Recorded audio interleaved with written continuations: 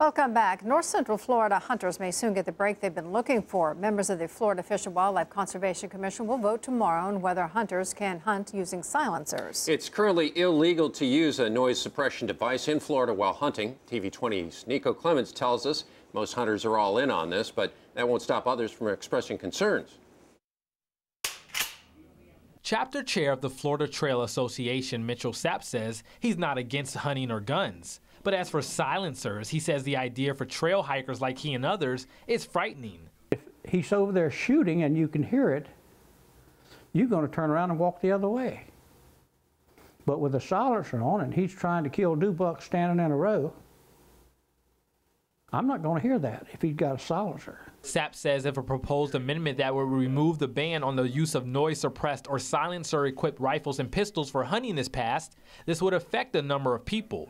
Well, besides the fact that a gun will make you aware that someone has got a dangerous weapon in their hands and they're shooting it.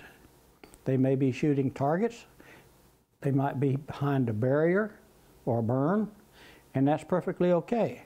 But if I don't know that they're behind there, I'm going to shoot back. Silencers are only banned in 11 states. Here in Florida, they're illegal for hunting. Hunter Travis Guggenheimer says silencers wouldn't completely suppress the blast of a rifle, but it would benefit hunters in the future. A lot of people, older people, um, even from uh, back in the, the, wartime, where now they can't hear, uh, they have a lot of hearing devices, uh, hearing aids, anything to help them hear because of the of the blast of the rifle coming out.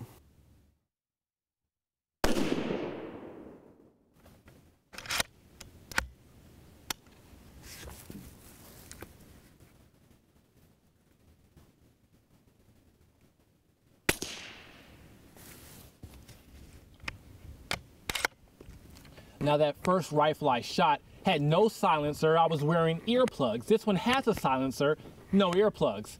Hunters like Travis Guggenheimer tells me that with these noise suppressors, it will make hunting hearing safe. It will allow hunters to hunt without having the blast damage their hearing. Yes, definitely. If they pass it, I will be the first one to uh, use it. But first, FWC officials will vote on repealing the ban on Thursday. Niko Clemmons, TV 20 News.